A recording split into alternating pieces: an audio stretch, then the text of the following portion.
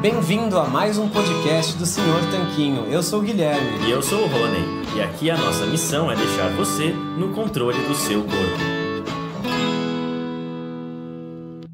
Fala Tanquinho e Tanquinha, esse podcast está sendo oferecido a você pela loja Tudo Low Carb. O que é a loja Tudo Low Carb? É basicamente um e-commerce onde todos os produtos que estão à venda são próprios para a sua dieta baixa em carboidratos. Então é muito legal, porque eles têm ótimos preços, todos os produtos são baixos em carboidratos e é lá que a gente encontra os nossos próprios ingredientes. Inclusive, eles quiseram dar um presente muito bacana para você é o seguinte: você vai na loja online, você vai encontrar todos os produtos que você quiser, entre oleaginosas do tipo castanha do Pará, amêndoas, nozes, queijos, chips de parmesão, adoçantes como eritritol e xilitol, lanchinhos práticos, macarrão com jaque, cacau em pó e todo tipo de alimento ou ingrediente que você quiser utilizar para incrementar a sua dieta low carb, você vai encontrar lá. Então é fantástico e eu tenho uma dica quente para você agora. Quando você estiver indo pagar, você coloca o cupom SR BR Tanquinho no checkout e vai ganhar 10% off na sua primeira compra. Então são 10% de desconto sem fazer nada. É incrível e eu recomendo que você compre lá porque os preços são bons, os produtos são ótimos e eles também apoiam essa nossa iniciativa do podcast. Tendo dito tudo isso, hora do show. Olá, Tanquinho! Olá, Tanquinha! Bem-vindos a mais um episódio do nosso podcast. E hoje a gente conta com a presença da Cláudia Vilaça. Tudo bem, Cláudia? Tudo bem. Prazer estar aqui com vocês. Para quem não conhece a Cláudia, a Cláudia é uma, é uma advogada e também fisiculturista que segue uma linha de alimentação comida de verdade, baixa em carboidratos. Então, Cláudia, como você pode começar se apresentando e falando um pouquinho sobre você para quem ainda não te conhece? Olá, boa tarde. O meu nome é Cláudia Vilaça, eu tenho 56 anos, faço 57 agora em maio. E até os 46 anos eu era completamente sedentária.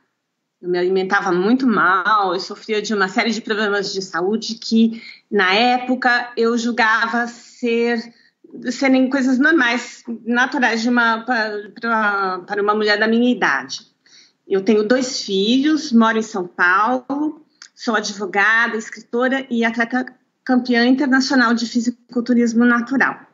O fisiculturismo natural é o fisiculturismo em sua forma pura, ou seja, o esporte sem uso de nenhum recurso, é, como um, nenhum recurso que seja capaz de promover um aumento da, uma melhora na performance, um aumento de força, que, né, nenhum recurso que represente alguma vantagem sobre a, do, do atleta sobre os seus concorrentes. Então, no fisiculturismo natural, ao contrário do fisiculturismo normal, né, em que é muito frequente o uso de, desses recursos, no fisiculturismo natural não se faz uso de anabolizantes, nenhum tipo de hormônio, modulação hormonal, reposição hormonal. Também não se usa estimulantes termogênicos, é, diuréticos, nem fórmulas é, manipuladas que contenham algum, alguma substância vetada pelo, de acordo com os padrões do Comitê Olímpico Internacional e da, da, da Agência Mundial Antidoping e é feito um exame antidoping para todos os atletas, todos eles, 100%, e antes de todas as competições. Então, na hora que a gente vai fazendo todos os campeonatos que eu participei, na hora em que se faz a inscrição, é, o atleta faz a inscrição e imediatamente vai fazer o, o, o vai coletar material para o exame antidoping. E apesar de não ser proibido no fisiculturismo natural o uso de suplementos de proteína, aminoácidos, vitaminas, etc., eu particularmente não faço uso de nada disso. Eu tenho uma dieta 100% natural, palho e de baixo carboidrato e sem alimentos processados, sem nenhum tipo de suplemento, sem vitaminas sintéticas e também sem álcool. Eu não faço, já estou na tenho 56 anos, já estou na menopausa há alguns anos. Eu não faço nenhum tipo, não faço nem nunca fiz nenhum tipo de tratamento uh, ou terapia para menopausa E, curiosamente, eu entrei na menopausa e passei por essa fase sem nenhum desconforto, sem nenhum problema. Simplesmente a menstruação parou de vir e pronto. Não senti mais nada, minha vida continuou exatamente igual ao que era antes. E eu também não tomo nenhum tipo de medicamento ou fórmula de uso contínuo ou frequente. Caramba, certamente é uma é um relato bem diferente da maioria das mulheres aí que passam pela por essa fase, né? Geralmente elas relatam pois bastante é. sintomas e tudo mais. E é claro que você também tem um estilo de vida diferente da maioria das mulheres dessa idade também. Cláudia, como Sim. que você começou a se interessar, então, por treino e alimentação e chegou até o fisiculturismo? Porque você mencionou que até relativamente poucos anos atrás não se interessava. Como que foi essa transição? É, até os 46 anos eu era sedentária em tempo integral. Eu e toda a família, praticamente. Uh, e aí era todos aqueles problemas de, de, de, eu tinha alergia, intestino preso, cisto no ovário, enxaqueca. Também eu tinha uma flacidez mórbida. Eu era mole, era uma mulher gelatina, assim, era toda mole. Eu não usava, só usava blusa de manga comprida, calça comprida, não, não usava short, blusa de manga cavada, nem pensar. E também eu não tinha energia para nada, eu sentia um cansaço mortal. Mas achava que isso aí era normal, porque eu já era uma quarentona e, e que era normal que isso acontecesse. E nessa época, o, o, eu comecei, eu pisei pela primeira vez numa academia de ginástica para acompanhar o meu filho, porque eu tinha uma missão que ele, estava era um adolescente gordinho, aquela barriga que fazia uma cabaninha em, por baixo da camiseta do uniforme. Um, qual, quem de vocês é o, é o Guilherme, que também, que também era assim? Uhum. Fazia aquela tenda, né? Embaixo do, da camisa. Só usava isso, só usava roupas largas, calças de elástico na cintura e aquelas camisetonas grandes por cima. E aí eu sugeri uma, alguma, que ele fizesse alguma atividade física para, sei lá, para dar alguma coisa que diminuísse aquela, aquela barriga, que estava ficando uma coisa indecente. E havia uma academia de ginástica recém-inaugurada no, no, quarteirão da minha casa, um quarteirão de distância. E aí eu sugeri, ah, que tal, vai lá, vai, vai, matricule-se na academia, vá, vá fazer alguma coisa, né? Aí ele, muito chateado com aquela, com aquela conversa de entrar em forma tal, ele falou, ele me desafiou. Ele falou, tá bom, mãe, eu vou para academia, se você for também certo, e tinha certeza de que isso me desencorajaria e colocaria um ponto final naquele assunto. Mas aí eu topei o desafio e falei, tá bom, eu vou. E aí fomos, começamos os dois a, a, a frequentar a academia de ginástica. No início era aquelas séries de séries para iniciantes mesmo, era treino, só tinha um treino, era muitas máquinas, aqueles pezinhos cotonetes, né? Os, aqueles pezinhos coloridos. Uhum. E, e, e, a gente treinava. Um dia fazia musculação e no outro dia fazia. É, andava na esteira e, e era, praticamente era isso. E aí, do, nesses dias da, da, da, esteira, o meu filho ficava vendo televisão. Na academia, tinha lá uma televisão por máquina, né, na, na esteira. E enquanto e ficava, e ficava vendo TV e tal, e enquanto eu estava andando, eu ficava observando as pessoas na sala de musculação. E me chamava atenção, eu ficava, prestava especial atenção a quem tivesse um corpo bacana, um, ou quem eu visse que treinava assim com, com garra, sabe? Aquilo eu achava bacana de ver, né? Porque era uma coisa muito diferente do, da, da, do meu universo. Eu me sentia uma estranha no ninho ali. Mas eu comecei a observar e me chamou particularmente a atenção um casal. Eles treinavam muito pesado, muito concentrados e aí e, e eu ficava fascinada com aquilo, com aquele jeito, com aquela, com aquela concentração que eles demonstravam. E aí eu comecei a anotar. Eu peguei um, levava um caderno e eu ficava observando na, na, posição em que eu estava, sempre era possível observar toda a sala assim, de musculação e eu via. Então, eu anotava, eles estão na máquina tal. Eu não sabia o nome das máquinas, o nome dos exercícios, mas eu inventei um código e fazia uns desenhinhos assim, e aí eu via quantas repetições ela fazia, é, de que maneira, como é que era, como, fiquei, ficava observando. E depois, quando era a minha vez de treinar, eu fazia a minha série normal e ficava tentando reproduzir aqueles movimentos, aquelas coisas. E ficava a seguir. Quando eu estava treinando também, eu dava um jeito de ficar por perto, de olhar. E assim começou, eu comecei a me interessar. Aí, na época, isso foi em, mais, há 10 anos, era, na época era 2009, e a, a rede social do momento era o Orkut. No, o Facebook já existia, mas não, não era muito popular. Instagram ainda não existia. E aí eu abri um perfil no Orkut e, e comecei a frequentar umas comunidades de, de treino, de musculação. Comecei a, a fuçar, comecei a ler, também entrava, tinha, havia uns fóruns de fisiculturismo, hipertrofia, e eu comecei a, nas minhas horas vagas, comecei a, a mergulhar naquele mundo e, e para aprender, para para tentar entender como, é, como as coisas funcionavam. Na época eu nem sabia o, nem sabia direito o nome dos músculos, das, da, eu não sabia das partes do corpo, não entendia nada de fisiologia tal, e mas fui aos pouquinhos, fui, fui, fui aprendendo. E nessa, nessas, nessas minhas viagens aí, nessas minhas eh, experiências no Orkut, eu me deparei com uma coisa que acabou mudando, praticamente mudou a minha vida e determinou a maneira de treinar, a, a eu acho que foi, foi uma sorte, assim. Eu me deparei com um, uma comunidade, um pessoal que treinava segundo os métodos do HIT, do Arthur Jones. Uhum. Né? E a, aí eu aprendi, o, o HIT é o treinamento de alta intensidade, né?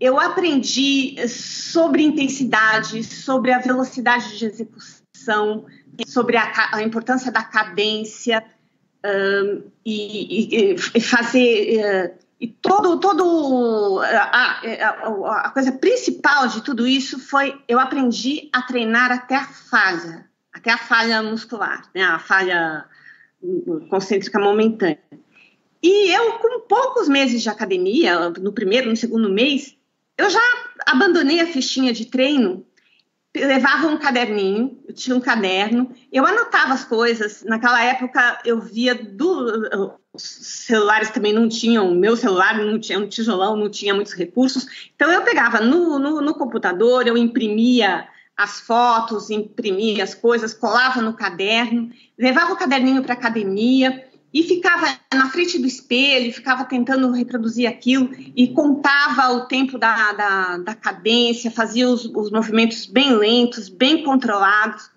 Então isso foi determinou todo o meu a, a minha caminhada na musculação e no, no, no esporte, né, no fisiculturismo, desde muito cedo, desde, desde o começo tive essa sorte e, com, e esse método também é, é, é muito bacana porque ele evita lesões.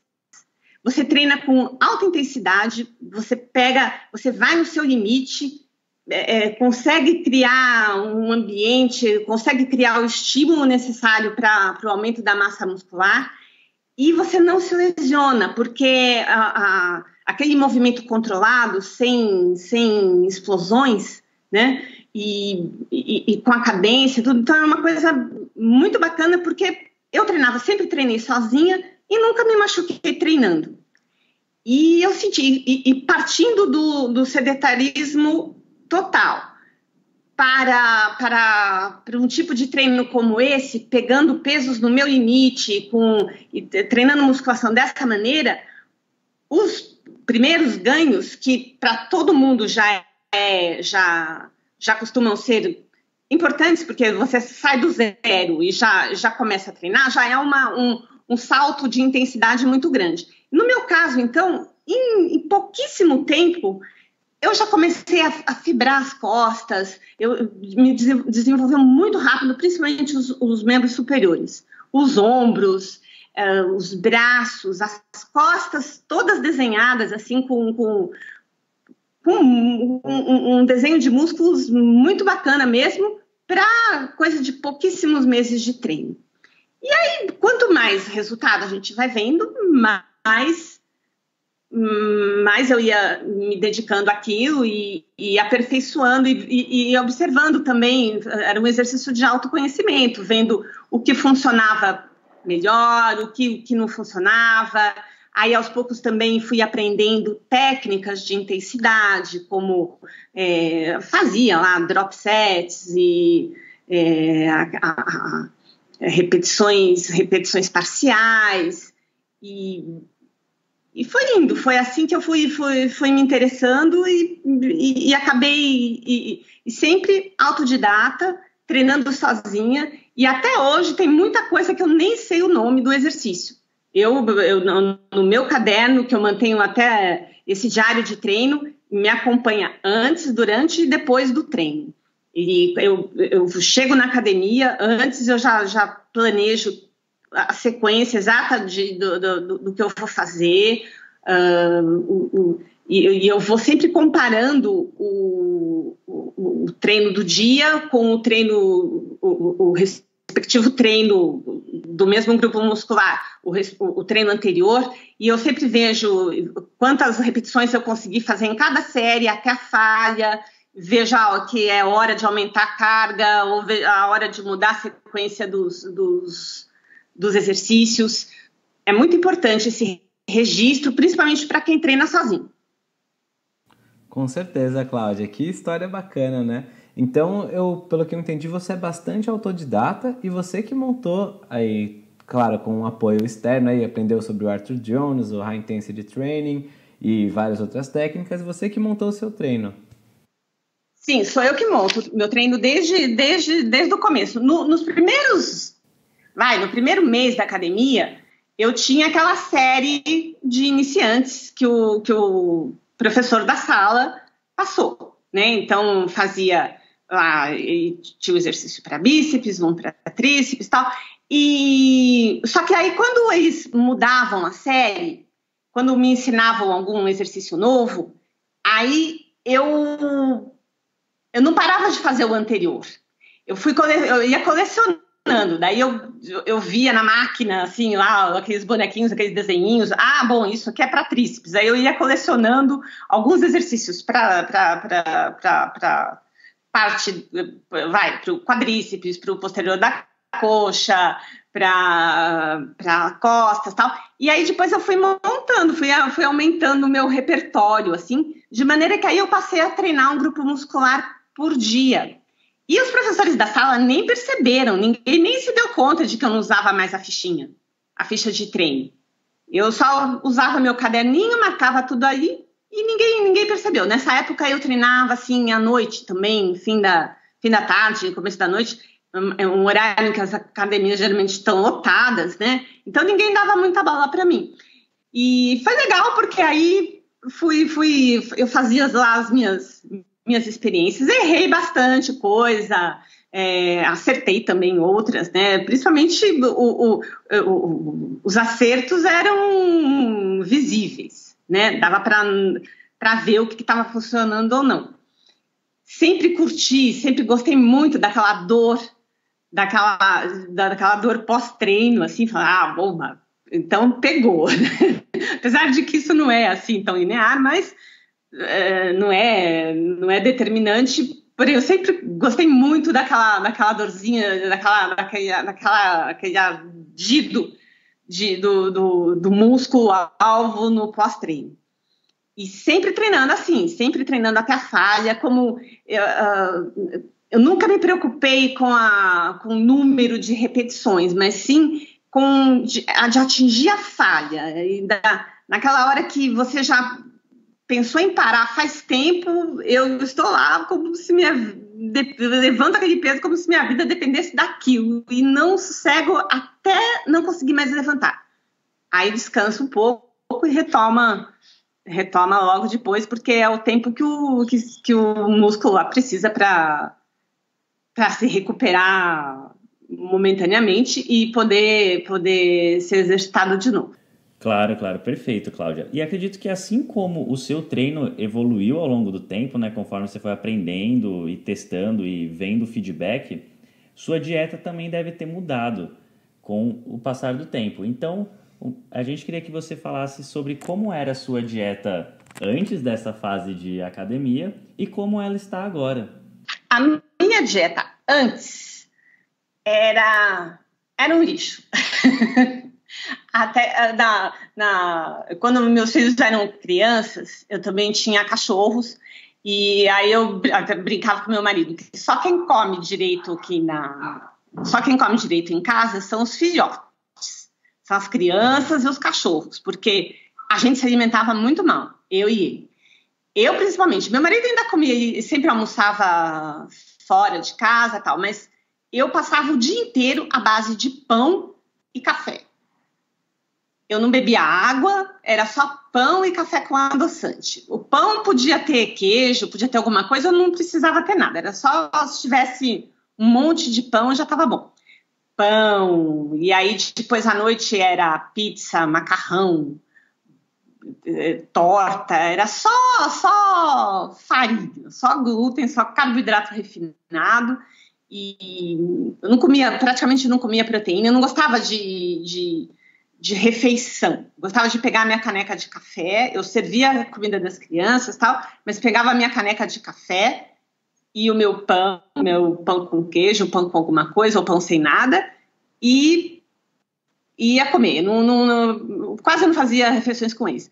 E quando a gente saía, e aos fins de semana, quando se saía, a gente saía para ir a algum restaurante e tal, aquilo, aquela comida não me satisfazia. Eu ia num rodízio comia carne e tal, mas ficava morrendo de fome. Depois do almoço eu tinha que comer pão. Eu chegava, eu chegava em casa ou onde eu estivesse, ficava desesperada para pão. E minha dieta era assim, não tão eu, eu, praticamente eu não comia vegetais, não comia nem fruta, era assim, era pão, macarrão, pizza, café e, depois, e à noitinha passava do, saía do café e passava para o vinho. Eu bebia todo santo dia, por volta de uma garrafa de vinho por dia, sem exceção. Então, eu digo até, eu brinco que a minha dieta era bíblica, era pão e vinho. Ah, muito bom. era pão e vinho.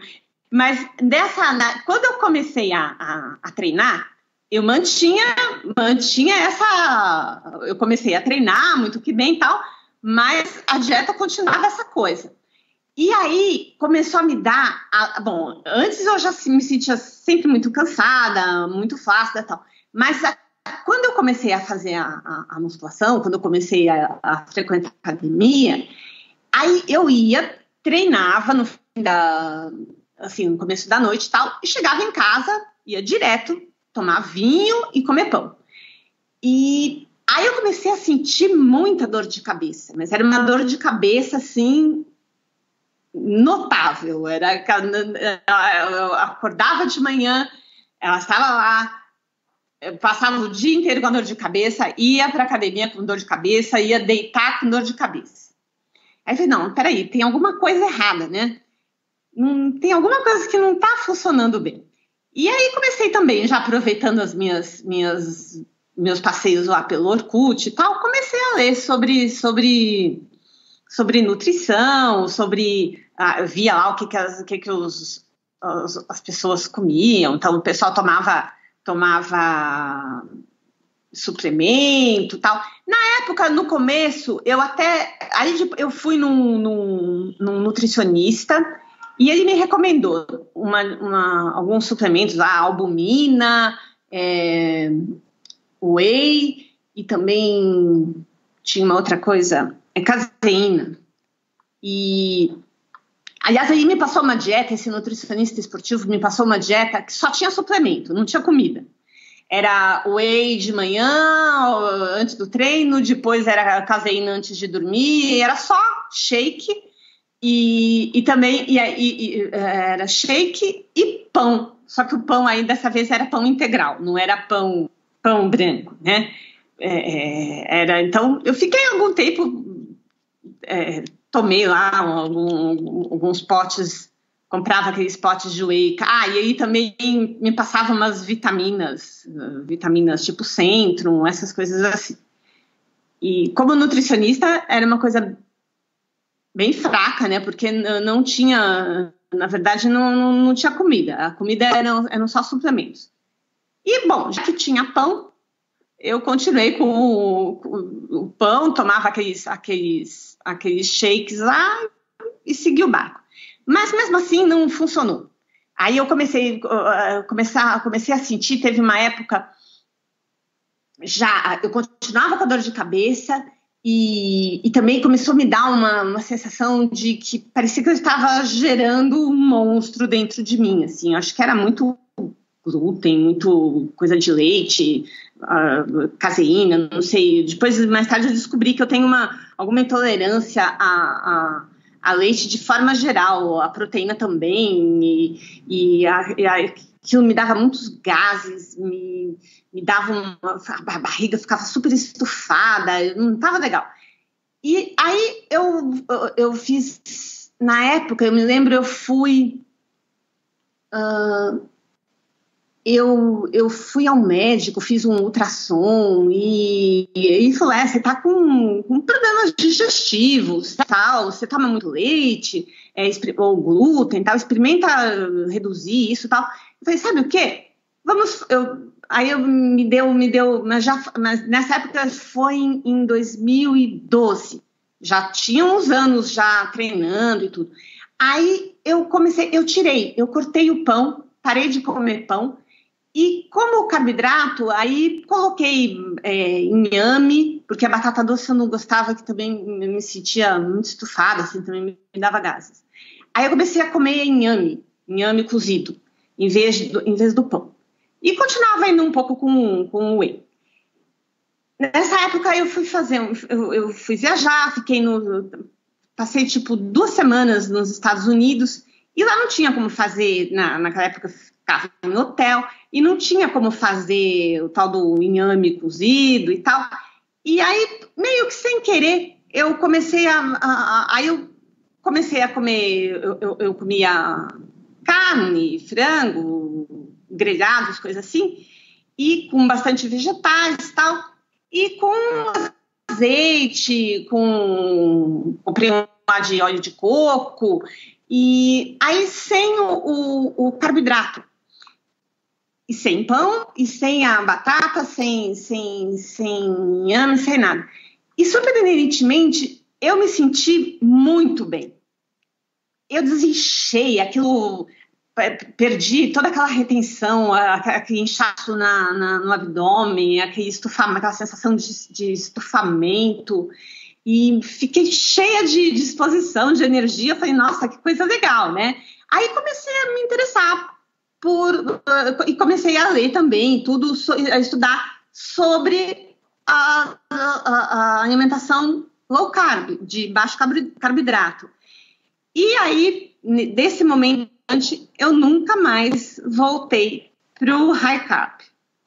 Desde então desde 2000 e 2012 para cá na época nem se falava de dieta cetogênica, não se falava de low carb, não se falava. E eu, eu estudei, eu vi que era, como era usado para o tratamento dos epilépticos ou de algumas doenças. E fui, fui adaptando aquilo no meu dia a dia.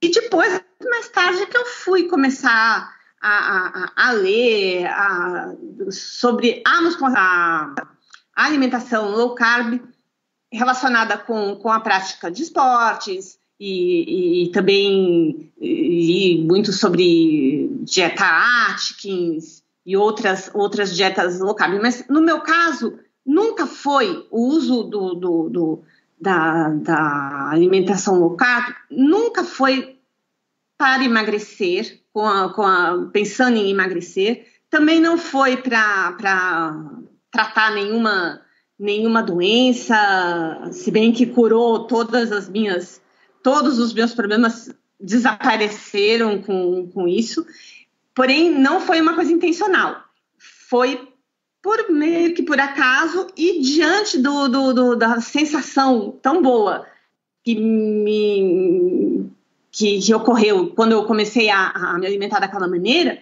eu não queria mais voltar a me sentir do jeito que eu me sentia antes.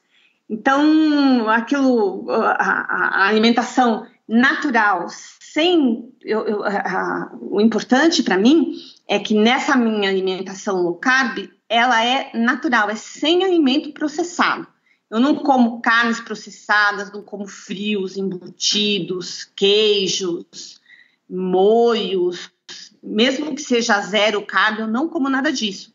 É comida comida que se compra na feira, no supermercado, comida fresca ou congelada ou resfriada, mas que vai depois vai para a panela, vai para o forno, não é eu não como é, prato pronto, congelado, é, que é só aquecer tal. Eu gosto, eu cozinho, eu gosto de cozinhar e eu preparo a minha comida, é uma, uma comida super simples. É muito. Gosto muito de fazer coisas no forno, né? As carnes eu asso, ou cozinho, mas eu prefiro assar. Asso com, com, com um pouco de azeite e com temperos, usuários, cebola, ervas e, e acompanho isso com muitos vegetais. Eu não como frutas, que é uma alimentação bem low carb, a minha é bem, o carboidrato é bem baixo, mas eu como muitos vegetais e muito azeite de oliva. E é comida, a, a, a, é comida natural, sem ser comida processada. Eu não, não, não uso adoçante, nada que tenha conservantes, é, adição de sódio, adição de coisa nenhuma. É, é a comida, comida de verdade, real food. Caramba, Cláudia, excelente.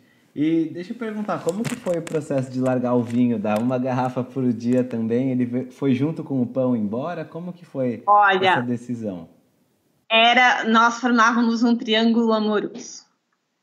Era um caso de paixão, éramos perdidamente apaixonados. Eu, o pão e o vinho. foi difícil, foi difícil. Mas eu larguei. O, o, vinho foi mais difícil do que o pão, eu acho, ou não, sei lá. Foi tudo foi bem difícil. Mas eu fiquei esse tempo todo sem colocar uma gota de vinho na boca. Esse ano, agora em, em no mês de junho, dez anos depois de ter parado de, de beber completamente, sem nenhuma gotinha, eu coloquei uma. Eu tomei um meio dedo assim de, de vinho do Porto numa degustação de em Portugal, né? E é, a segunda vez que eu, que eu, que eu vou para Portugal, na primeira vez eu passei, passei batido, não toquei no vinho, mas na, na segunda vez eu toquei assim na, no meu cálice, foi um, dei um golinho no, no, no, no, vinho do Porto lá da, da, da degustação, só. Esse meio tempo todo e aí eu falei, nossa, éramos tão, tão íntimos, né? eu e o vinho, mas foi bem difícil. Mas foi, foi uma, uma linda paixão que boa enquanto durou. Mas depois o, o, o, eu não troco a maneira como eu me sinto hoje. Sabe, era. Eu, eu gostava muito do vinho, gostava do macarrão, e daquele pão todo, mas não gostava de sentir aquelas, ah, de, de, sentir como eu me sentia, né? E eu sou meio radical, assim, meio, meio radical é, é, é uma expressão idiota. Eu sou radical. Então, quando quando eu, eu não consigo assim reduzir, moderar, é tudo ou nada, é 8 ou 80. Eu cortei de vez porque eu acho mais difícil ficar naquele negócio de pouquinho, assim, daí sempre há uma. Uma ah, tem um dia que você bebe um pouquinho a mais porque tá nervoso, ou porque tá calmo, para comemorar, não sei o quê. Então eu simplesmente cortei. Assim foi quando, quando eu era mais nova, quando eu tinha. Eu fumei muito. entre os 18 e os 30 e poucos anos. Fumava dois maços de cigarro por dia. Aí quando e eu já eu tinha tentado várias vezes eu tinha tentado reduzir, tinha tentado é, é, tentado parar, conseguia ficar um, dois, três dias, mas depois voltava, aquilo vinha com uma, uma, uma, força terrível, porque parar de fumar é muito difícil. Parar de fumar é, é, foi mais difícil do que parar de com o vinho, com o pão. Foi uma coisa bem. Eu tive síndrome de abstinência, foi horrível. Mas eu consegui. Quando, e, e, mas teve que. Eu cortei total e fiquei lá tremendo, assim, me sentindo péssima tal, mas eu consegui passar por aquilo e nunca mais coloquei um cigarro na boca.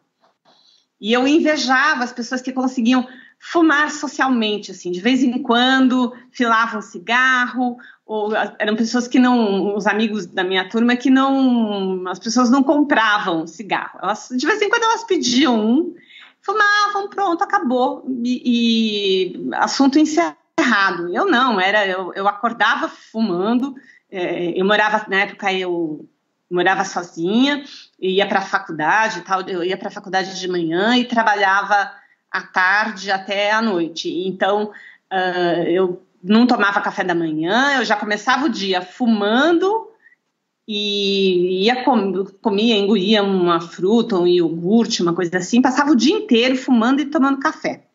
Então, para parar de fumar foi bem difícil. Foi bem difícil. Mas também só funcionou quando foi assim. É uma coisa séria. Vamos parar de fumar e ponto. Aí parei. Mas foi bem difícil.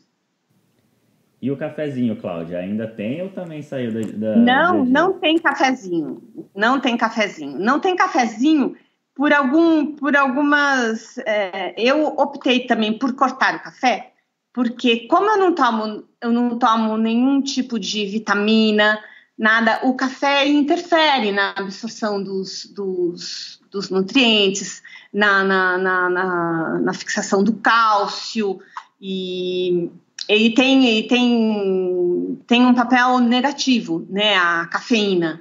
E, e, também tem, tem muito ácido oxálico, né, muito oxalato, que isso eu tenho um, um, uma tendência a, a, a, eu evito alimentos com alto teor de oxalato porque aqueles cristais eles se acumulam nas articulações e causam dor na articulação do quadril, principalmente. Eu já tenho um probleminha no quadril, que é uma osteoartrose no quadril. E aí eu já percebi que quando eu como alguns vegetais que são altos em oxalato, como beterraba, espinafre, é, muitos vegetais têm, têm alto teor de, de oxalato, por exemplo, amêndoas, as, as próprias nozes, pistache tem muito oxalato, o café, o chocolate tem. Então, é, é, isso, esses cristais de, de, de oxalato eles se acumulam nas articulações e me causam um, um, um dor no, no, no, quadril que tem, que tem hora que eu não consigo andar. E demorou para eu descobrir isso, que o culpado, eu achava e fiz ressonância e fiz um monte de coisa e tal, mas eu, eu descobri que isso eu também consigo controlar com a dieta. Tanto é que às vezes que eu, eu, sinto uma pontadinha no quadril, sinto uma fisgada, eu já vou lá no meu diário para ver o que, que eu comi. Que vegetal foi aquele, e aí eu já evito ou troco por outra coisa, tal, porque isso é um, é um, é um, é um problema que, que, que eu tenho, dessa, desse acúmulo de, de dessa, desses cristais de, de oxalato. Então, e, e por isso também eu não tomo café, mas eu adorava café, mas eu não tomo mais. Ah, entendi. É, da gente da nossa parte gosta bastante de um cafezinho e sabemos que muitos leitores e ouvintes também gostam, mas é bem interessante ter essa perspectiva também, porque foi mais um passo aí que você eliminou, né, para fazer essa dieta cada vez mais natural, digamos assim. Essa coisa do café, desculpa te interromper, é importante. Às vezes a pessoa tem, muita gente tem artrite reumatoide ou tem outros tipos de dores nas articulações e tal, e pensa que é, é que é um problema é, sabe, de, de, ortopédico ou alguma lesão, tem, tem problema no joelho e tal, mas pra, quando eu converso com, com, com, pessoas assim, eu falo: você já experimentou tirar o café, tirar, usar vegetais de baixo teor de oxalato? Aí a gente vai olhar a lista tal. É impressionante, porque é uma coisa. É, é, é um negócio tão simples, tão bobo assim, mas se você puder trocar um, um, um sabe, uma uma amêndoa, por, por exemplo, coisa que tem baixo teor de oxalato, é semente de abóbora, semente de girassol.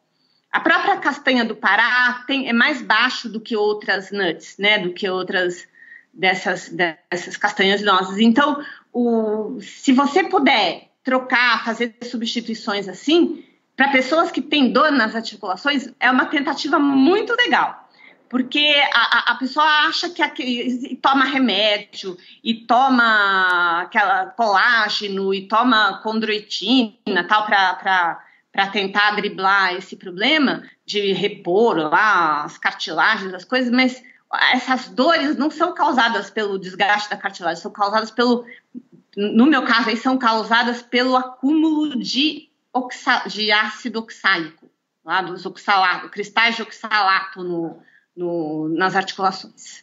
E dói, dói, dói bastante. Não, com certeza, imagino que você teve muitos bons motivos também para largar a cafeína e aí com certeza vale a pena você se sentir bem muito mais do que tomar um cafezinho. E agora, Cláudia, a gente queria te perguntar a respeito da sua dieta com relação à hipertrofia, porque muita gente pergunta pra gente, tá fazendo a dieta low carb, muitas vezes já emagreceu, e agora quer começar uma fase de ganho de massa muscular, isso aí naturalmente acaba surgindo essa dúvida, até pelo que sempre ouviu falar por aí na mídia e nas academias. É possível ganhar massa muscular numa dieta low carb e cetogênica? Bom, você é a prova viva de que sim. E o que você pode falar para as pessoas que têm essa dúvida, então? Sim, é possível, porque a, a, o ganho de massa muscular vai depender do treinamento, né, do estímulo, e, e, eu arrisco dizer que tem que ser um estímulo forte, tem que para o ganho. Eu gosto de, de, treinar com baixas repetições, com cargas altas no meu limite e sempre até falha. Então, o, o, treinamento de musculação intenso e a, a, a quantidade suficiente de proteínas e de energia. Você precisa de energia, vinda do, do seja do carboidrato, seja do, do, das gorduras, seja de onde, de que, de que via for, né? São do, de alimentos energéticos. Você precisa de um balanço de, de calórico positivo, né? Então tem, você não pode estar em déficit. Então, o, o se você está em déficit, você pode ganhar, manter a massa muscular, até, até ganhar um pouco, mas é mais difícil de ganhar uma quantidade significativa de massa muscular. Mas se você tem um, um superávit, vai, se você tem um, um, um, pequeno excedente de calorias, não precisa ser muito, porque senão aí você vai ganhar gordura, mas se você tem que ter um pequeno excedente de calorias ao longo do dia, uma quantidade suficiente de proteínas e um treinamento e fazer treinar de verdade, fazer força de verdade. Aí você vai, vai, vai, vai ter ganho de massa. Vai ter ganho de massa. Por essa razão, última, assim, nos últimos anos, eh, antes eu fazia uma. Quando eu comecei a fazer a dieta low carb, eu comia pouca proteína. Eu fazia. Era uma cetogênica bem eh, extrema mesmo. Eu comia pouca proteína e, e bastante gordura. Chegava assim, tipo, a gordura chegava assim 80% da, da, das calorias da refeição. 20% eram das proteínas e quase menos de 20 gramas de carboidrato por dia. Era bem pouquinho, era só algumas folhinhas de alface assim e só. E, ou algumas folhas tal. E agora, de uns tempos, de, com o passar do, do, dos anos, eu aumentei a quantidade de proteína, então eu como mais proteína e diminuí um pouco a quantidade de gorduras no, no, no, na, na, na, composição das minhas refeições. Porém, ainda é uma, uma, uma dieta de. É, hipercalórica, assim, porque como, e aí eu como, é, eu faço cinco a seis refeições por dia. Uh, faço para ter, faço essa, essa, essa quantidade de refeições para ter essa quantidade de calorias aí, de energia para me dar esse excedente. Então eu fico aí por volta de umas entre 2.800, 3.000 calorias por dia. Então aí eu ponho. Agora, quando eu quero, se eu quero emagrecer, quero dar uma secada, aí eu reduzo a quantidade de refeições.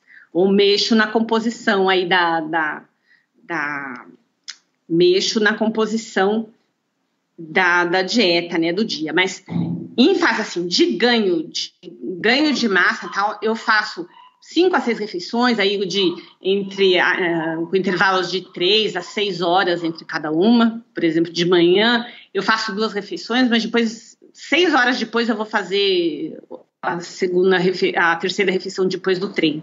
Então eu, eu fico tranquilamente mais tempo sem, sem, sem comer, não, não me dá fome, mas eu me organizo para fazer essas refeições dentro da programação da minha dieta para eu ter a, a quantidade lá de, de, de, energia e de, de proteínas e de calorias de acordo com, com, com os meus objetivos.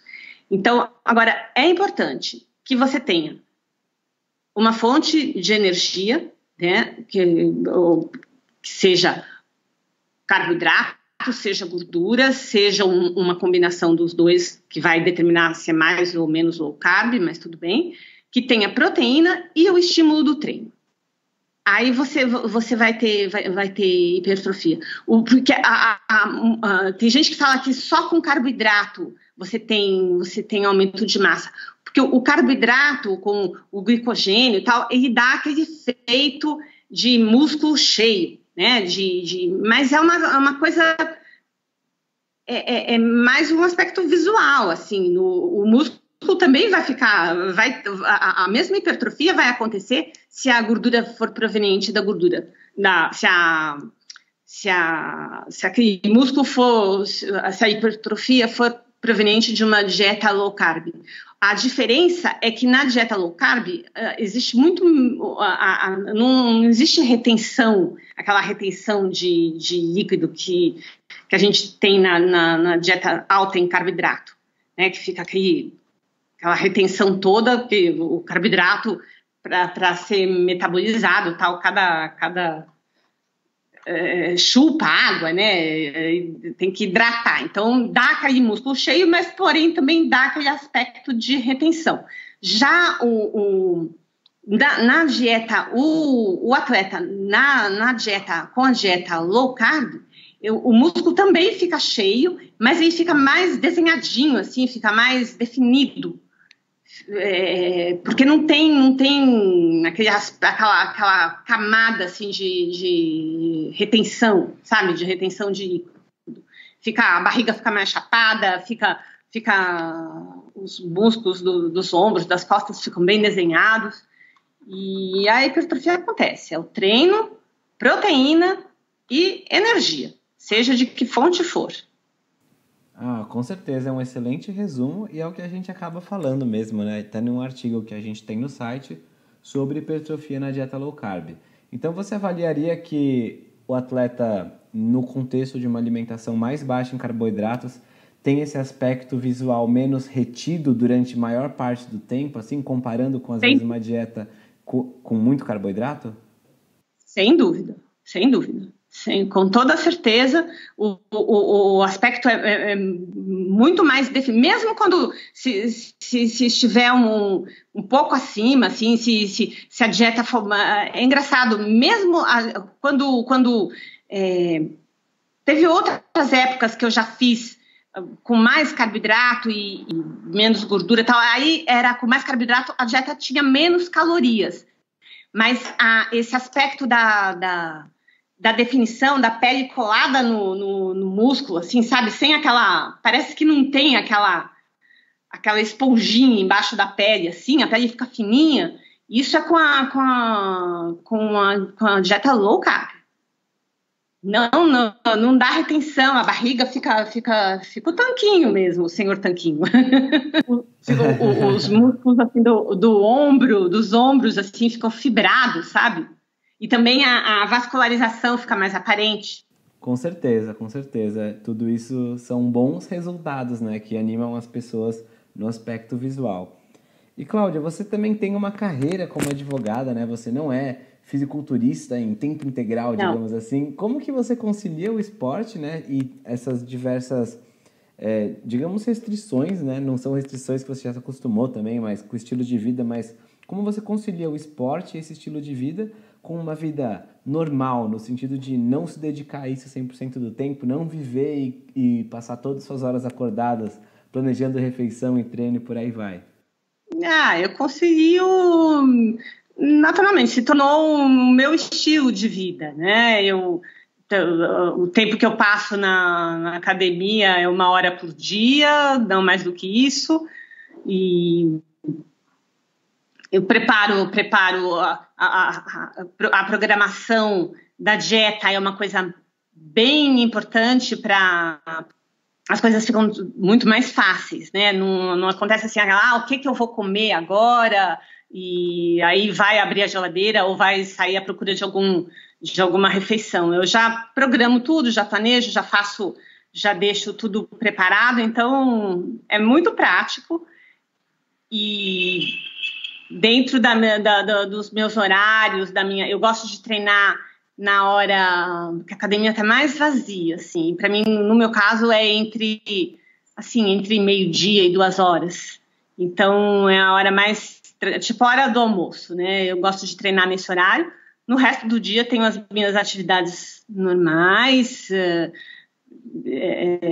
tenho a minha vida social, minha vida profissional, tudo sem problemas. É só uma questão de, de planejamento e de disciplina também.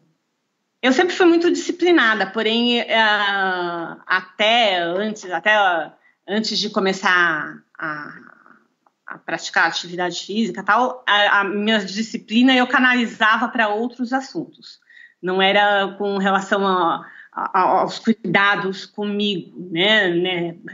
Eram, eram outras eram outras coisas, mas é, exige disciplina, planejamento e seguir, seguir adiante, sem se preocupar. Eu gosto de estabelecer metas, de, de, de estabelecer, fazer um alto desafio, como foi, como foi quando eu decidi participar pela primeira vez de um campeonato de fisiculturismo. Então foi assim, foi um, um, um desafio que eu me impus, né? E foi muito legal, tal. Então eu gosto de fazer isso, mas também eu, eu continuo, no, uh, continuo nesse processo, independente de ter um, um evento ou, ou, de ter alguma, alguma ocasião especial ou alguma meta. É um, é um estilo de vida, é, uma, é um caminho, é uma trajetória. Um dia após o outro e um passo à frente do outro e vamos em frente. Num, sem, sem sem ser assim uma, uma, uma coisa, uma exceção, um, um, momento parado no tempo, como, como quando às vezes as pessoas falam, bom, vou fazer uma dieta para perder tantos quilos, ou vou fazer. Não, eu aquilo é, é, é, é para a vida, para a vida toda. E, e eu treino do como se eu fosse competir, sempre como se eu fosse competir, subir no palco uh, na semana seguinte. Eu tô sempre tô sempre pronta, tô sempre, tô sempre comprometida com, com, com, essa, com essa minha atividade, é o meu esporte, é uma coisa que eu, que eu gosto de fazer e é minha vida, assim. Então não é, não é um, uma coisa que eu faça para agradar alguma pessoa, ou para impressionar alguém, ou para é, ou por dinheiro, ou, sabe, por, por algum outro objetivo assim. Não, é um. É um, é um, é um estilo de vida, é, é a maneira como eu escolhi viver a minha vida e é a maneira como eu quero ser. Eu projeto a pessoa que eu quero ser, ou, o, como eu quero que seja a minha vida daqui a algum tempo, alguns anos, e, e eu miro lá na frente e vou, vou, vou nessa direção. Perfeito, Cláudia. É, e uma coisa que a gente ficou curioso para saber é que você tem algum, é, já faz uma dieta bem baixa em carboidratos, o que adiciona um certo grau de restrição de alimentos no seu dia a dia. E você ainda tem outras restrições, como aqueles alimentos que é, te causam dores por causa do, do ácido oxalato. Então, como em quais, em quais, alimentos a sua dieta é baseada atualmente? Como você planeja o seu cardápio? Olha, eu como uh, como fonte de proteína, eu como muito peixe, peixe selvagem, porque eu não, não gosto de peixe de não uso peixe tipo tilápia, é, nem salmão de cativeiro, que peixes com, com, com corante, hormônios. A, a, tilápia tem, tem é, essas tilápias é, criadas em cativeiro, são, os peixes recebem hormônios para mudar de sexo. Então, para todos ficarem, para maior, a maior parte do, dos peixinhos se tornarem macho porque assim eles adquirem maior peso e, e, e dão mais lucro né, na, na, na, na, comercialização. Então, é tudo aquilo é hormônio que a gente está ingerindo. E o, o, o, salmão de cativeiro, mesma coisa. Também é hormônio, né, para ficar bem vermelho, bem bonito.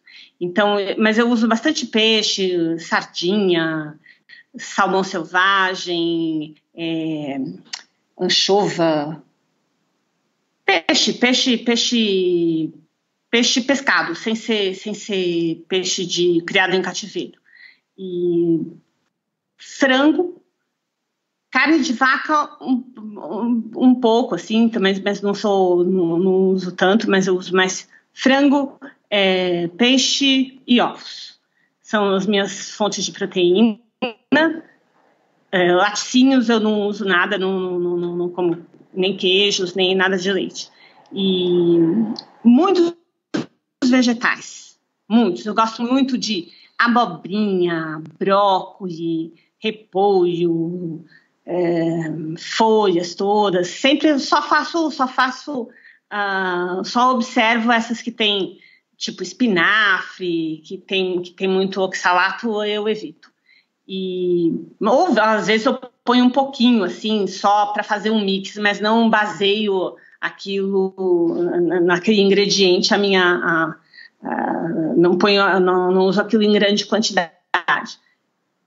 Como sementes também, semente de abóbora e de girassol, tem bastante magnésio, pouco oxalato, é ótimo para o intestino, que eu tinha antes, eu tinha sempre sofrido com o intestino preso, e e eu descobri que, que, que essas, essas sementes ou, ou, ou é, é, alimentos que têm bastante magnésio, eles ajudam na produção de serotonina e isso facilita lá, aumenta a velocidade do, do trânsito intestinal, é muito legal para o intestino.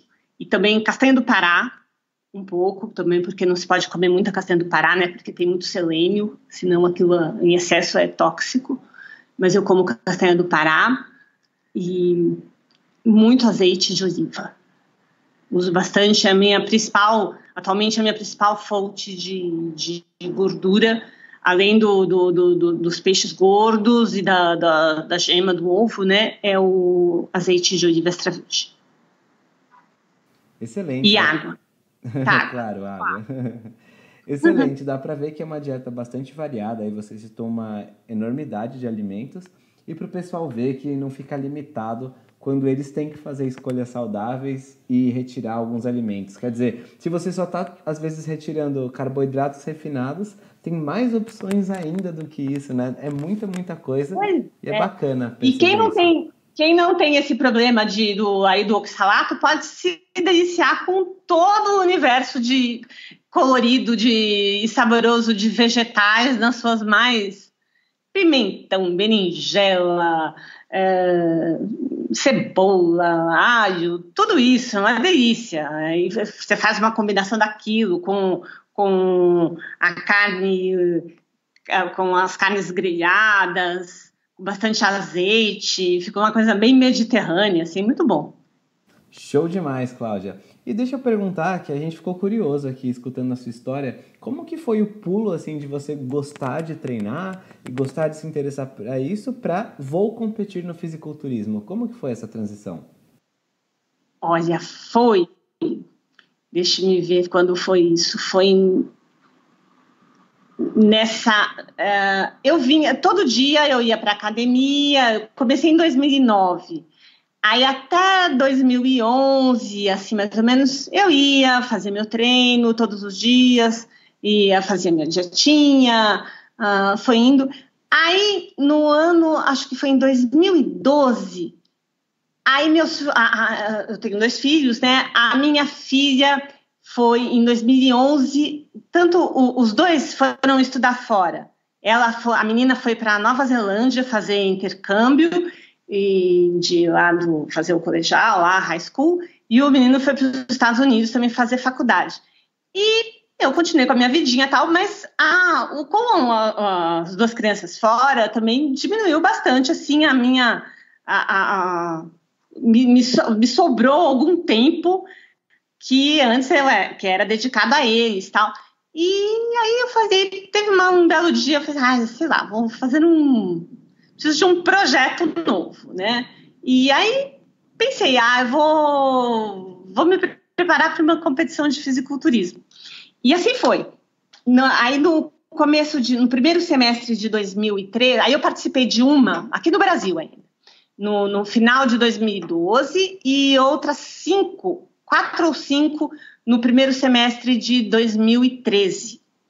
E aconteceu uma coisa muito engraçada, porque ah, era dentro da minha. A, a, primeira competição era uma categoria única. Eu competi com as meninas e tudo, com, a, com meninas lá que tinham idade para ser minha, minhas filhas.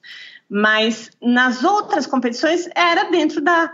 Era na, eu competi na categoria Master, né? Eu tinha cinquenta e tantos e era, era a categoria Master era para atletas acima de 35. Tem uma boa diferença entre cinquenta e tantos e 35, mas tudo bem, já, mas era dentro da minha categoria. E, e nessas, em todas essas competições, eu ficava, eu obtive todas as vezes, 100% das vezes, eu obtive um gloriosos últimos lugares. Até que eu me dei conta de que o, o, o meu físico natural não era o que, o, o que os jurados e o, que o público, ah, os árbitros esperam, porque a, a, o que se espera, assim, na, na o, o, padrão, digamos assim, na, das competições de fisiculturismo no Brasil, que a maior, maior parte delas é pela IFBB, o que se espera é um físico, vou pedir perdão pela expressão, mas é um físico bombado. E é, é com aquele. É, é o tipo de, de, de, de, de musculatura, o tipo de desenho, o tipo de, de corpo que não, não, não, não, se adquire naturalmente. Aquilo é, tem, é, é, só, se, só se chega naquele físico com o uso de anabolizantes, com o uso de, de termogênicos, de diuréticos antes da, da, da, da competição e toda aquela preparação a, aqueles ciclos de drogas e tudo que chegam, fazem o atleta chegar naquele ponto. E o atleta natural nunca fica daquele jeito. E eu, eu fui colecionando alegremente meus últimos lugares. Até que, eu, até que no fim, no, no, último campeonato, que foi em julho de 2013, foi um campeonato brasileiro, aí eu tirei, fiquei em último lugar, como sempre, e, e eu estava muito bem, estava linda tal, mas estava bem, o corpo estava bonito, o rosto bonito, estava tudo legal, mas e tinha e, e, e, eu eu posso dizer sem, sem falsa modéstia tal, assim olhando friamente ah, eu, eu, estava muito melhor do que vai se não fosse pegar primeiro nem segundo, mas não era para não merecia o último lugar. Mas enfim, e depois dessa última competição, que foi em julho de 2013, vieram me perguntar se, se eu ia continuar competindo e se eu pretendia continuar, se eu, se eu pretendia continuar competindo, se eu ia querer perder sempre ou se eu ia competir para ganhar. Se eu, se eu, queria competir, ou, ou, seja, assim, em igualdade de condições. Para isso, então, eu teria que me enquadrar e, e fazer como todo mundo faz, porque senão era só é, era sabido que não, não ia dar certo, né? que aí eu falei não tá bom eu vou vou mudar assim mas vou mudar de praia né fui procurar a minha a minha minha turma aí eu me desisti de, de, de continuar competindo no Brasil pela IFBB e me associei a, a, a uma, uma, federação de fisiculturismo natural nos Estados Unidos, com que hoje tem mais de 30 anos de atividade, a, a INBA, e eles têm sede na, na Califórnia. E aí fui isso eu, em julho aqui eu fiquei em último. Daí em setembro eu fui para os Estados Unidos e aí comecei a pegar, a colecionar primeiros lugares. Foi uma, uma, uma, uma coisa muito muito curiosa. Aí eu fui, e meses depois, com o mesmo físico e tudo, fui para os Estados Unidos, aí peguei o, prime o, o primeiro lugar, uh, campeonatos em Hollywood, campeonatos em Las Vegas, o Natural Olympia, uh, Forever Natural, e depois também no ano seguinte voltei para Las Vegas, e foi aí, sempre pódio segundo lugar, terceiro lugar, muitos primeiros, muitas vitórias. Fui para competir em Dubai no Mundial de Fisiculturismo Natural. Tive a oportunidade de, de, de, viajar bastante, de conhecer outras, outras pessoas. Dubai é um lugar incrível.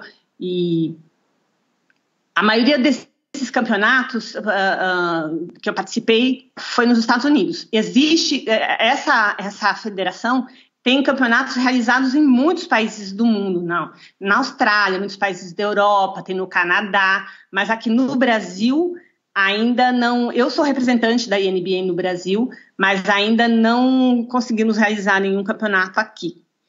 Um campeonato com, com segundo as normas do fisiculturismo natural, do, com exame antidoping.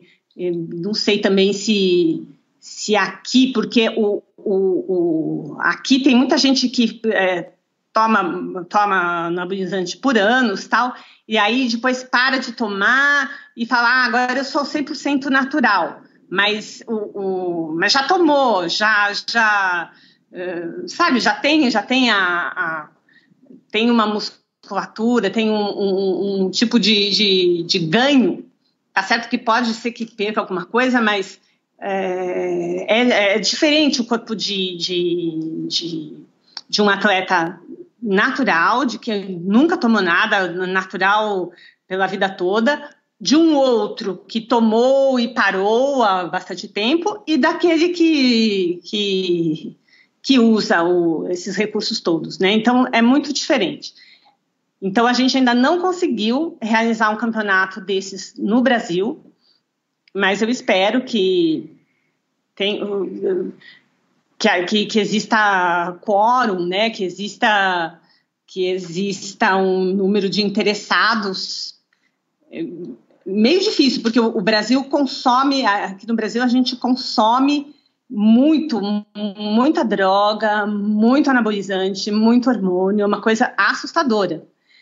Assustadora. E não sei nem se, haveria público para a quantidade suficiente de atletas para a realização de de um campeonato em todas as categorias. Mas foi assim que, que a minha passagem do, do da, a minha a minha estreia, a minha experiência nos campeonatos aqui no Brasil e depois a, a como foi que eu que eu decidi ir competir fora. Caramba, Cláudia, muito legal mesmo, é, como você começou no fisiculturismo. E agora, infelizmente, a gente já está chegando na parte final do podcast, mas a gente tem uma pergunta que a gente sempre gosta de fazer para todos os convidados. A gente já percebeu que você tem vários hábitos saudáveis, como uma alimentação bem saudável, como treinar, como não tomar álcool. E a gente queria saber se você tem outros hábitos saudáveis além desses. Hum, outros hábitos saudáveis.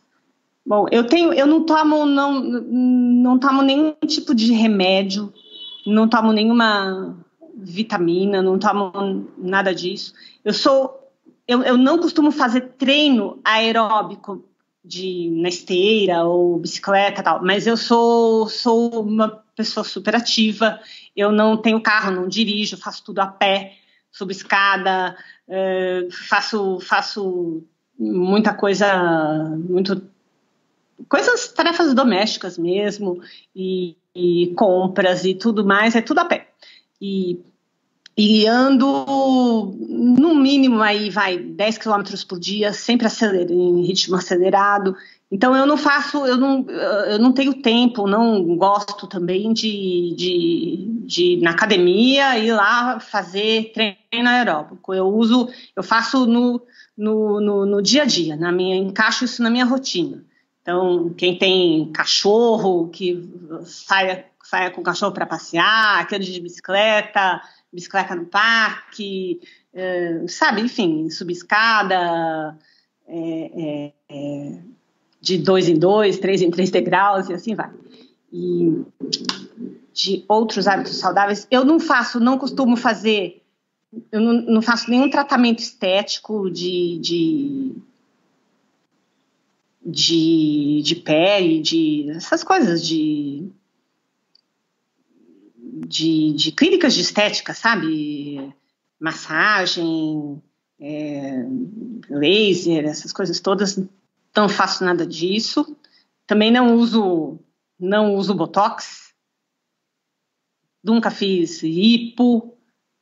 Não faço, não tenho, não faço nenhum tipo de injeção, de, de, de preenchimento, nada disso.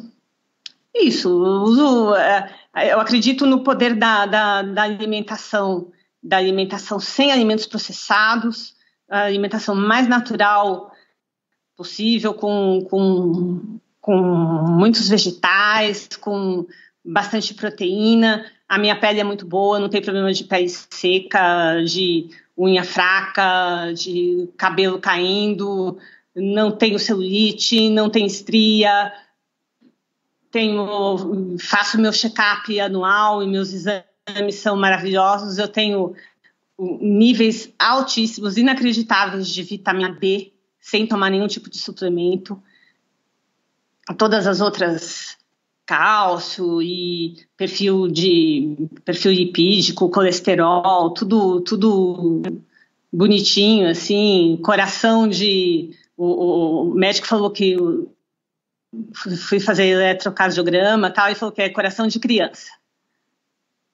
Então, tenho uma saúde, assim, perfeita. A única, a única coisa que me incomodava até há uns tempos atrás era o intestino preso, que eu já, com a alimentação, eu resolvi esse problema. E são esses. O, o, o, os meus hábitos são basicamente focados na alimentação, é tudo resultante da alimentação e do treino intenso. Poxa, que show, Cláudia! E como que você resolveu o intestino preso? Eu sei que essa é uma questão que atormenta alguns leitores, especialmente no comecinho de uma dieta low carb. Não, essa, o intestino preso, eu sempre, desde criança, eu tinha problema de intestino preso. Aí eu sempre também, desde criancinha, usava, já usei todos os tipos de laxante possíveis e imagináveis. Minha mãe me dava laxante e eu tinha. Aí foi indo que eu uh, já até uh, um ano atrás, assim, eu sempre dependente de laxante e aumentando a dose de laxante. Aí teve um dia, foi mais ou menos um ano e pouco atrás, que eu falei, sabe o que? Eu não vou mais tomar laxante vou parar com isso e vamos ver o que acontece. E eu comia, comia muita fibra, muitos vegetais, comia o azeite e tal, e muita água, e, e, anda e faz exercício e não jantava nada, né? Quer dizer, não, não, não, não resolvi o problema do intestino. E Aí e, e, e, e, fui, fui ao médico, aí me manda é, suplemento de fibras, aí eu não, não, aquele negócio me, só, só me estufava, me dava mais gases e não, não resolveu nada. Eu falei, não, fibra por fibra, eu como fibra dos, do, no, na minha dieta tal. E, e foi indo, aí até que eu consegui na, na, na com a, a, composição da, da, das minhas refeições e eu acho que o, o, o e principalmente, principalmente adotando uh, uh, essas, essas essas sementes, semente de girassol, semente de abóbora cruas, cruas. Eu como a, semente de girassol crua significa intestino funcionando, para mim pelo menos. Não sei se, se outras pessoas já tiveram essa experiência, mas por causa do magnésio. Porque o magnésio, ele, ele, ele, ele tem uma ação na, na, na, produção de serotonina. E essa serotonina tem, tem, também tem uma, tem um, participa do mecanismo do, do, da, da, da, da do funcionamento do intestino, do, da velocidade do trânsito intestinal que no meu caso é lento, é, é, tem o trânsito colônico lento, né?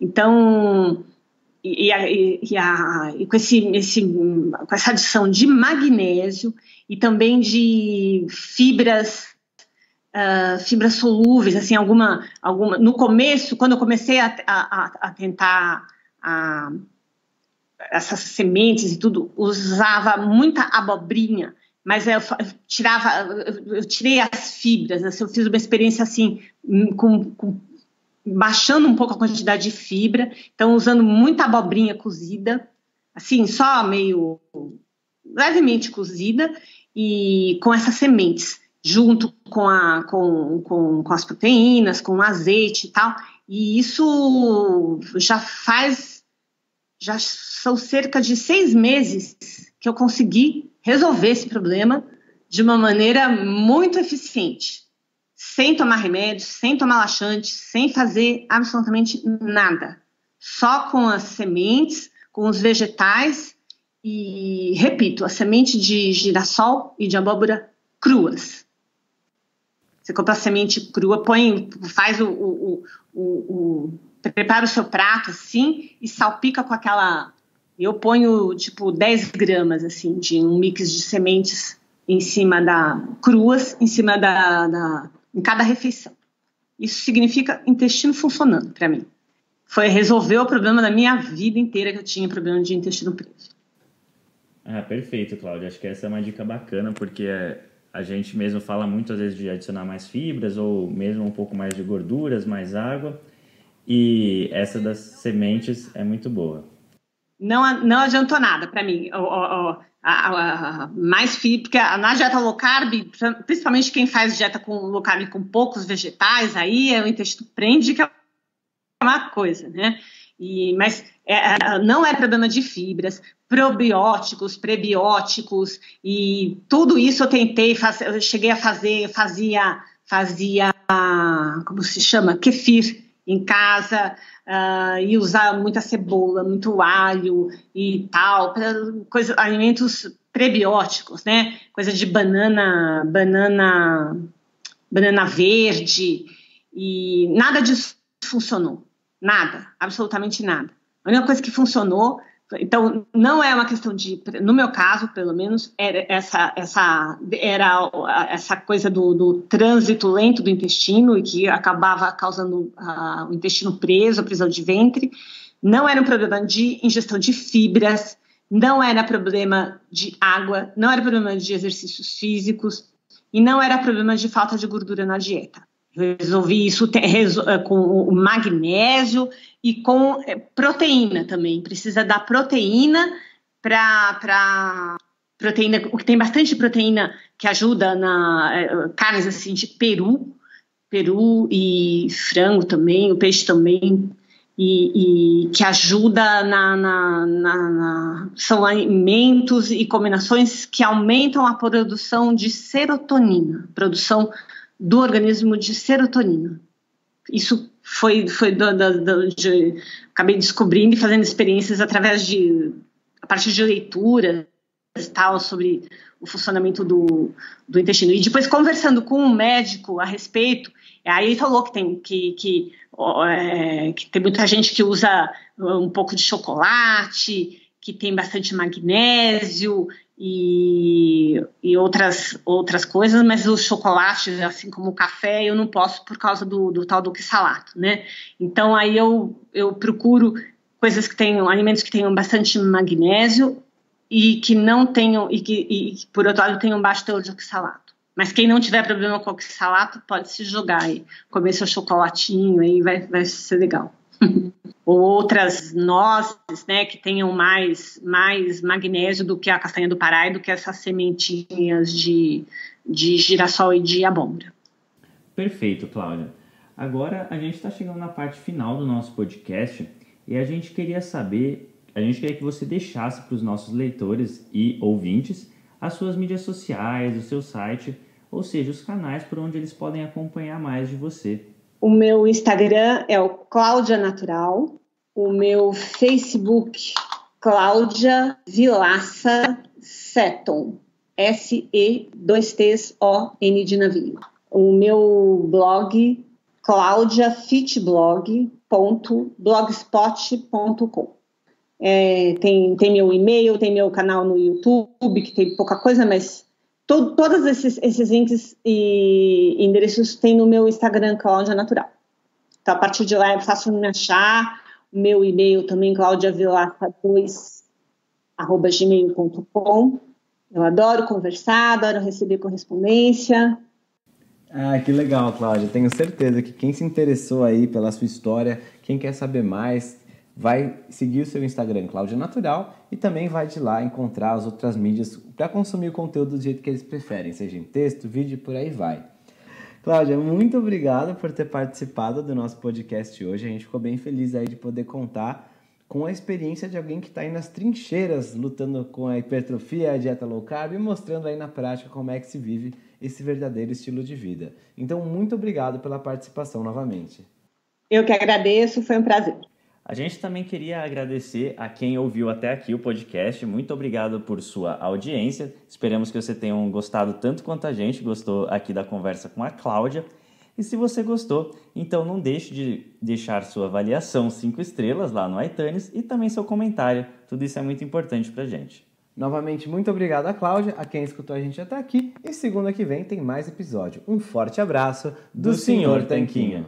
Fala Tanquinho e Tanquinha, esse podcast está sendo oferecido a você pela loja Tudo Low Carb. O que é a loja Tudo Low Carb? É basicamente um e-commerce onde todos os produtos que estão à venda são próprios para a sua dieta baixa em carboidratos. Então é muito legal, porque eles têm ótimos preços, todos os produtos são baixos em carboidratos e é lá que a gente encontra os nossos próprios ingredientes. Inclusive, eles quiseram dar um presente muito bacana para você é o seguinte: você vai na loja online, você vai encontrar todos os produtos que você quiser, entre oleaginosas do tipo castanha do Pará, amêndoas, nozes, queijos, chips de parmesão, adoçantes como elitritol e xilitol, lanchinhos práticos, macarrão com jaque, cacau em pó e todo tipo de alimento ou ingrediente que você quiser utilizar para incrementar a sua dieta low carb, você vai encontrar lá. Então é fantástico e eu tenho uma dica quente para você agora. Quando você estiver indo pagar, você coloca o cupom SR BR Tanquinho no checkout e vai ganhar 10% off na sua primeira compra. Então são 10% de desconto sem fazer nada. É incrível e eu recomendo que você compre lá porque os preços são bons, os produtos são ótimos e eles também apoiam essa nossa iniciativa do podcast.